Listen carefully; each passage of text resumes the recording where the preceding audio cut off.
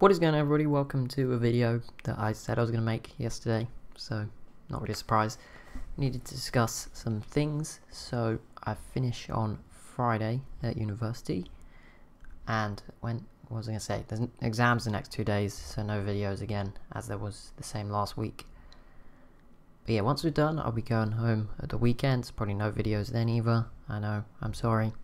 and then on Monday, I actually have a, a job, so probably not going to be able to make as many videos as before.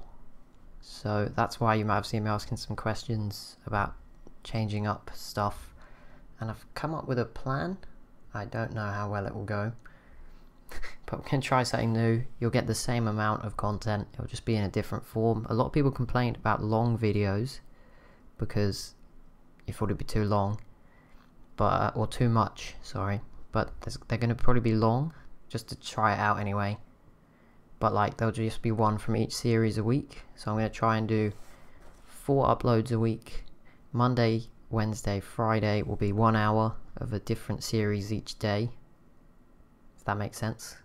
And then Sunday is going to be something people want to see me do some edited stuff. I don't want to jump into it so I'm going to try and do stuff with like a Sunday thing which will be like a more randomly edited thing.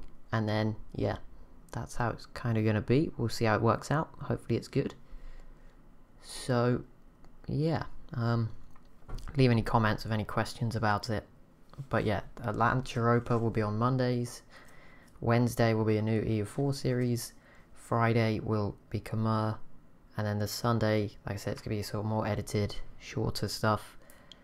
I think it's going to be a city skylines on a custom map first. And then we'll see what else comes after that, basically. Um, but yeah, that's just like a quick update.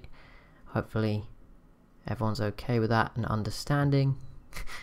and yeah, I'll be happy to answer anything else in the comments. But thank you so much for watching. Thank you for all the support and I'll see you in the next one.